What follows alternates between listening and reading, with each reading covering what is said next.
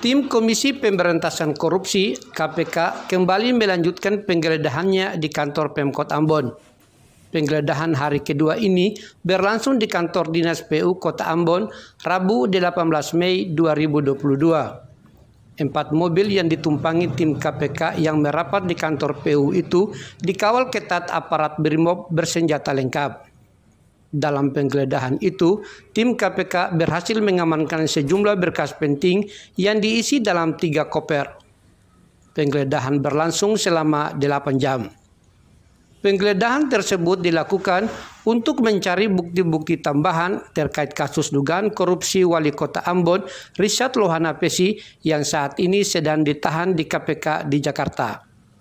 Dalam penggeledahan hari kedua ini, selain menggeledah kantor PU, tim KPK juga melakukan penggeledahan di rumah dinas wali kota Ambon guna mencari dokumen-dokumen penting lainnya.